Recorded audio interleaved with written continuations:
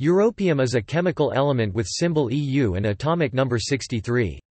It was isolated in 1901 and is named after the continent of Europe.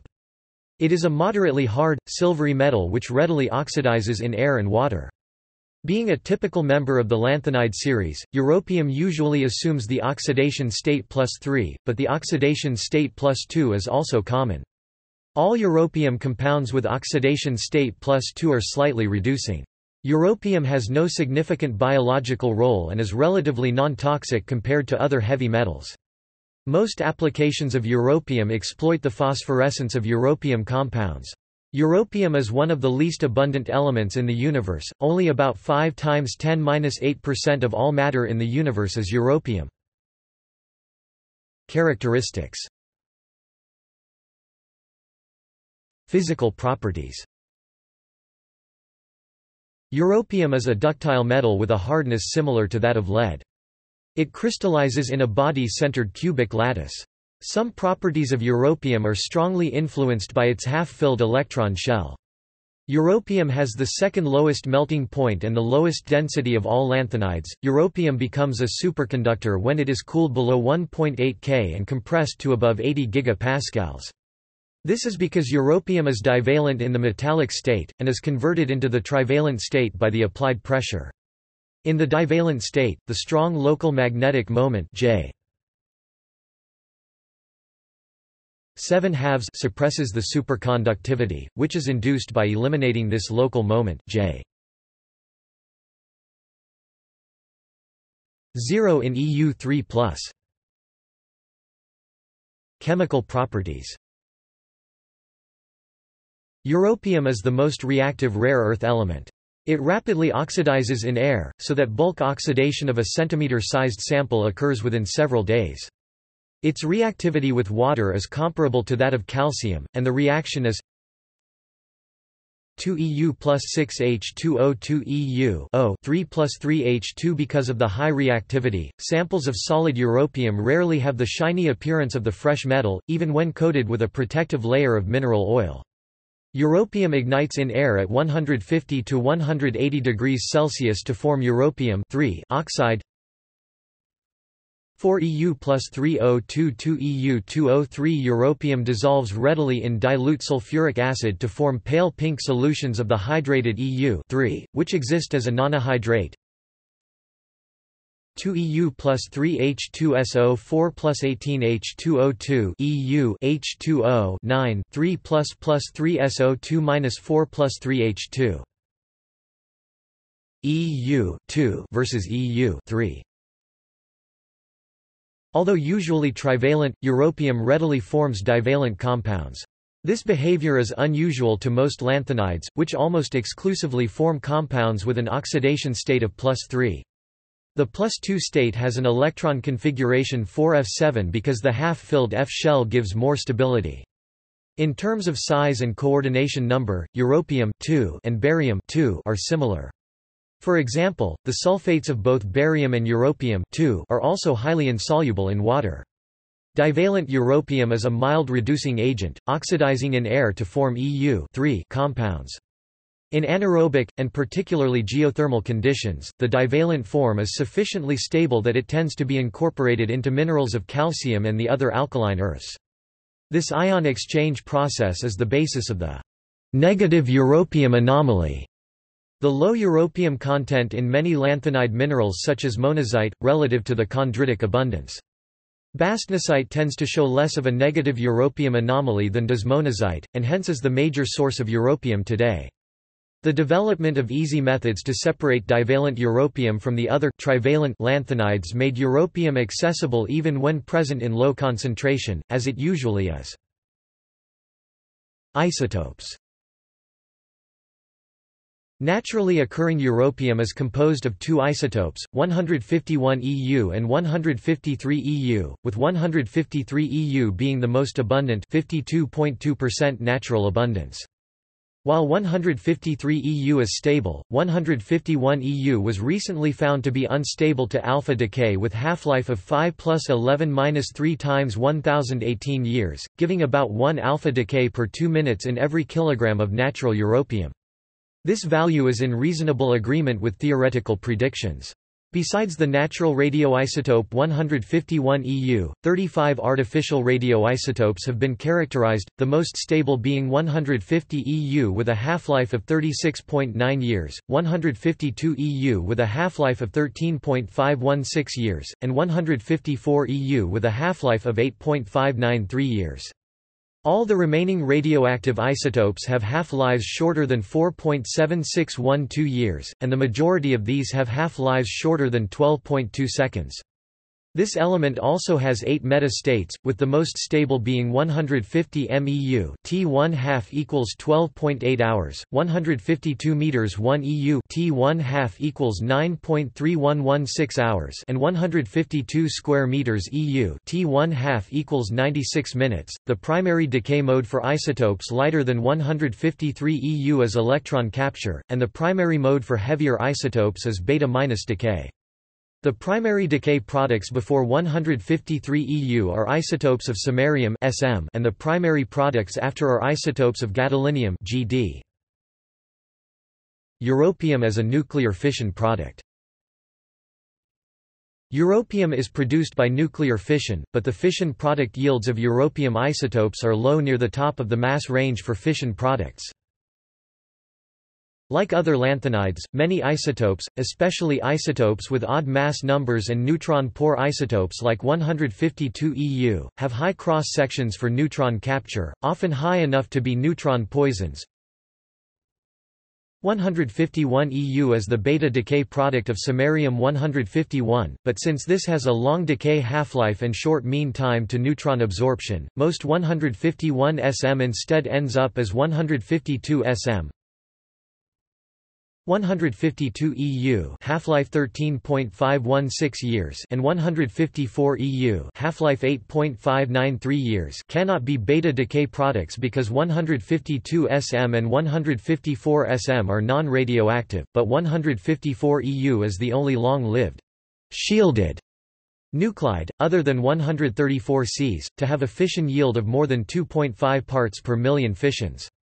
A larger amount of 154 EU is produced by neutron activation of a significant portion of the non-radioactive 153 EU, however, much of this is further converted to 155 EU. 155 EU half-life 4.7612 years has a fission yield of 330 parts per million ppm for uranium-235 and thermal neutrons, most of it is transmuted to non-radioactive and non-absorptive gadolinium-156 by the end of fuel burnup. Overall, europium is overshadowed by cesium-137 and strontium-90 as a radiation hazard, and by samarium and others as a neutron poison. Occurrence Europium is not found in nature as a free element. Many minerals contain europium, with the most important sources being bastnasite, monazite, xenotime and loparite CE.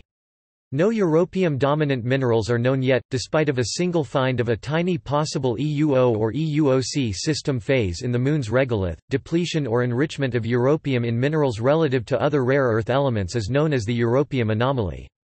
Europium is commonly included in trace element studies in geochemistry and petrology to understand the processes that form igneous rocks rocks that cooled from magma or lava.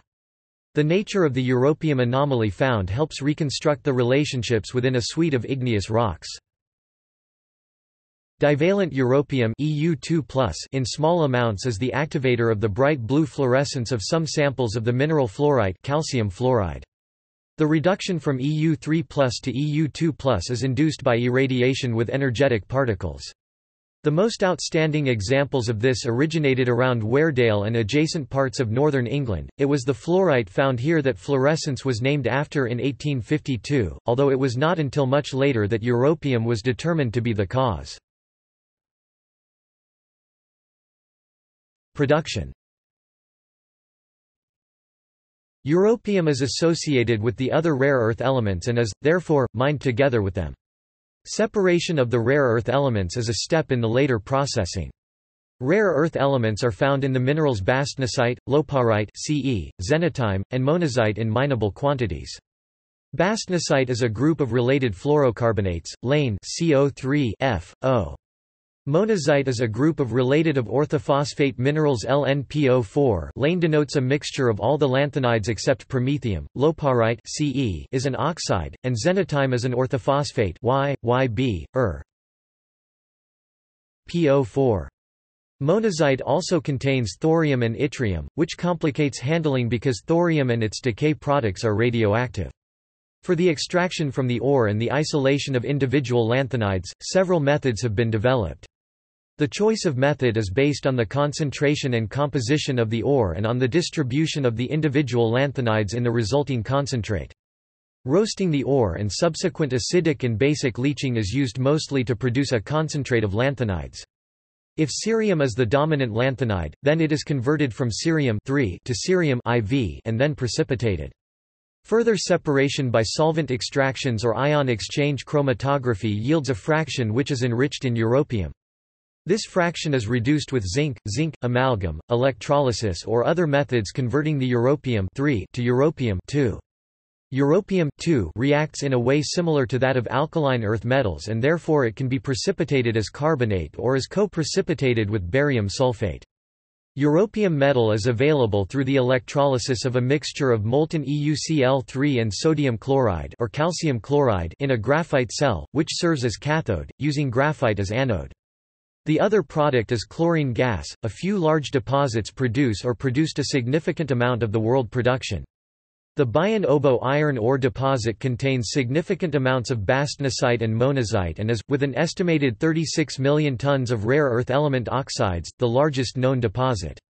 The mining operations at the Bayan Obo deposit made China the largest supplier of rare earth elements in the 1990s. Only 0.2% of the rare earth element content is europium. The second large source for rare earth elements between 1965 and its closure in the late 1990s was the Mountain Pass rare earth mine. The bastnasite mine there is especially rich in the light rare earth elements LaGD, Sc, and Y and contains only 0.1% of europium. Another large source for rare earth elements is the loparite found on the Kola Peninsula. It contains besides niobium, tantalum and titanium up to 30% rare earth elements and is the largest source for these elements in Russia. Compounds Europium compounds tend to exist trivalent oxidation state under most conditions. Commonly these compounds feature EU bound by 6 to 9 oxygenic ligands, typically water. These compounds, the chlorides, sulfates, nitrates, are soluble in water or polar organic solvent. Lipophilic europium complexes often feature acetylacetonate-like ligands, e.g., UFOD. Halides Europium metal reacts with all the halogens, 2 EU plus 3 x 2 2 EU x 3 x equals F, Cl, bridge, I. This route gives white europium 3 fluoride EuF3, yellow europium 3 chloride EuCl3, gray europium 3 bromide EuBr3, and colorless europium 3 iodide UE3. Europium also forms the corresponding dihalides, yellow-green europium fluoride EuF2, colorless europium chloride EuCl2, colorless europium bromide EuBr2, and green europium iodide UE2. Chalcogenides and pnictides Europium forms stable compounds with all of the chalcogens, but the heavier chalcogens S, Se, and Te stabilize the lower oxidation state. Three oxides are known: europium oxide UO, europium oxide EU2O3, and the mixed valence oxide EU3O4, consisting of both EU and EU Otherwise, the main chalcogenides are europium sulfide EUS, europium selenide EUSE, and europium telluride UT. All three of these are black solids. EUS is prepared by sulfiding the oxide at temperatures sufficiently high to decompose the EU2O3. EU2O3 plus 3H2S2 EUS plus 3H2O plus STHE main nitride is europium 3 nitride Un. History Although europium is present in most of the minerals containing the other rare elements, due to the difficulties in separating the elements it was not until the late 1800s that the element was isolated. William Crookes observed the phosphorescent spectra of the rare elements including those eventually assigned to europium. Europium was first found in 1892 by Paul-Émile Lecoq de Boisbaudran, who obtained basic fractions from samarium gadolinium concentrates which had spectral lines not accounted for by samarium or gadolinium. However, the discovery of europium is generally credited to French chemist Eugène Anatole Demarçay, who suspected samples of the recently discovered element samarium were contaminated with an unknown element in 1896 and who was able to isolate it in 1901. He then named it europium. When the europium-doped yttrium orthovanadate red phosphor was discovered in the early 1960s, and understood to be about to cause a revolution in the color television industry, there was a scramble for the limited supply of europium on hand among the monazite monazite processors, as the typical europium content in monazite is about 0.05%.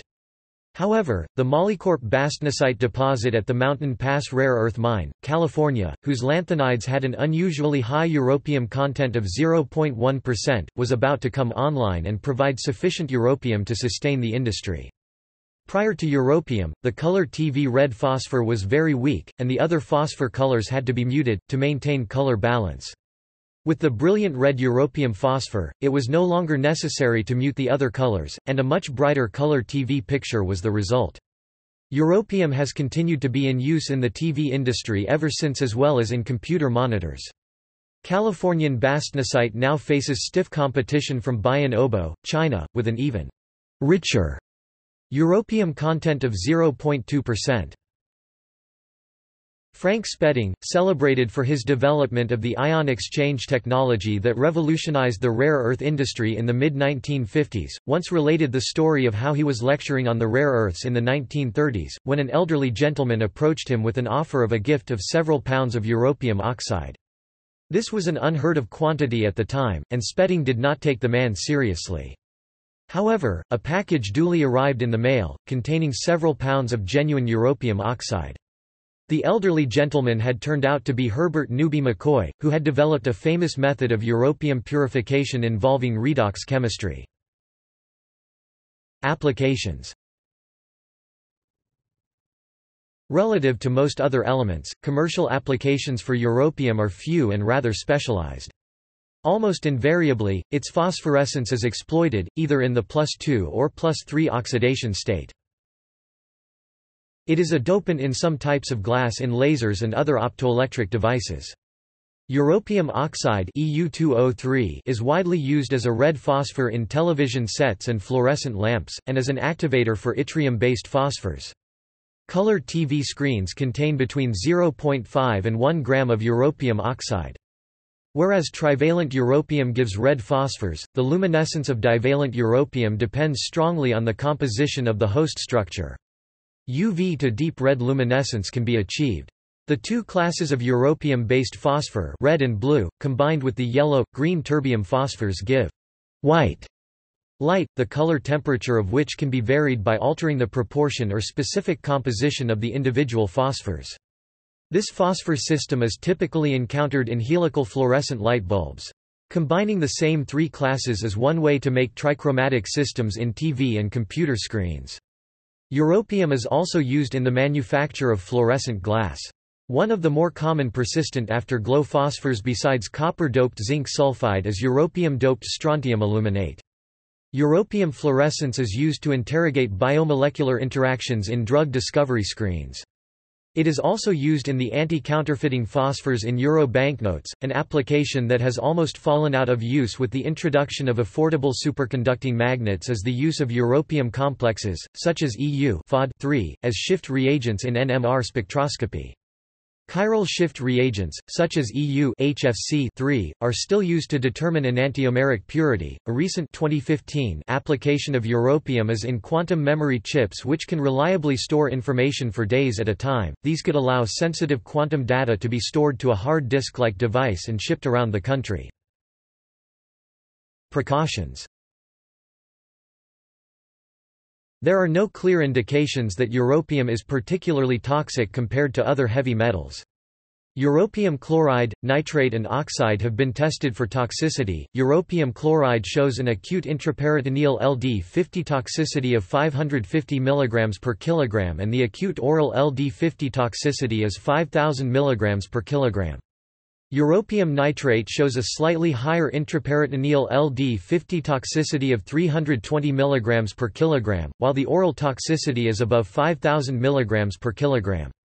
The metal dust presents a fire and explosion hazard.